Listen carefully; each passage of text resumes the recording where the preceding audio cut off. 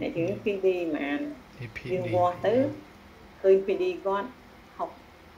62អញ្ចឹងយើងសេរីដាក់ទៅយើងសេរីដាក់លើអឺដងវាហ្នឹងនេះសេរីដាក់ឡើងនេះគឺដាក់62ដែរនេះ30 31មកទាំងអស់ពី31មកទៅទៅនេះ30 60 D 31ដាក់កន្លះទៀតមក បងអូនឯងដាក់30ដេក1នេះហ្នឹង32ហើយអស់62ហើយមកខាងមួយមកខាងមួយ62ហើយអញ្ចឹងយើងដាក់តា60កន្លះអា30កន្លះទេមកខាងអញ្ចឹងពី D នេះ61អញ្ចឹងណាហ្នឹងប្រើកន្លះកន្លះ